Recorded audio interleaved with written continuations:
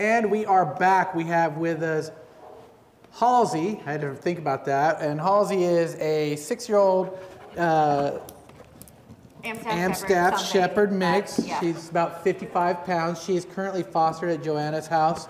Um, Halsey is a uh, high energy dog, and we'll just we'll just throw this out there up front. Uh, if we're looking for Halsey, if we're looking for a dog uh, like Halsey, it would be a household, uh, a, a single animal household, um, ma- mainly adults, but you could have older kids with uh, a, you know a little supervision, a little bit of training still needed with Halsey, right? Yeah. Experienced owner. Experienced owner definitely because she is she is dog react or dog selective and not that she hates other dogs it's just other dogs behaviors can trigger her uh, What I would say, she's actually everything selective. She's Everything selective, selective. people as well, but there's a reason. She was a mom. She was stray. She protected six puppies in the wild for like six weeks. We didn't get them until they were six weeks old. Okay. So she has learned to be very selective about the people that she trusts. But once she trusts you, she loves you. Like she's as good as gold, aren't you? so she's not a trust but verify she's a verify then trust She's a, yes, she, she absolutely needs to make sure that you're comfortable with her and that she's comfortable with you, and then she's the best dog ever. so there's nothing to be afraid of it's just No. hey you need to put you, You need, need to to be in the right situation and she Yes. needs to be in the right situation. She needs situation to know you can take care of her. okay She, boundaries,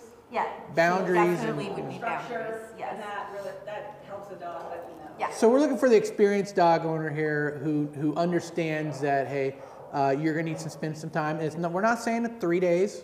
It could, it could be it could be a month or two before you get the full trust barriers and, and get your boundaries right. But once you find that, Halsey is an active dog. Uh, loves loves to, to move around. High energy, you can see, and very inquisitive. Um, No, don't do that. she did not like Scruff McGruff here. So, um, anything else you'd like to share about uh, I mean, she, you can see like she's leaning on me. Like Yeah. once she knows you and you know she knows that you're going to take care of her, she wants. She's absolutely a loyal dog. It's that's not your best side, girl. No, Like- I love her. She's introducing herself to the camera. Yes, yes. Her the. She's cute, she's very, I think, I love her, I think she's. She's very potty sweet. trained. I mean, Yeah, she's very. mu- she's Hey, can I get some a little attention? Can I get some Yes, for attention? Thank you. Thank you. Thank you. that, but she Thank you. hold for days. All She absolutely won't go in Now, her. this is only the second time I've met Halsey, and uh, this is uh, this is what's that?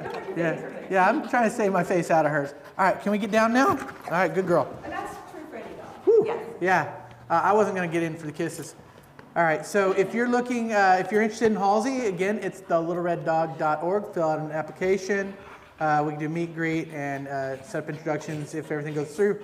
And we'll be back with another dog shortly. Wow, I can smell that one.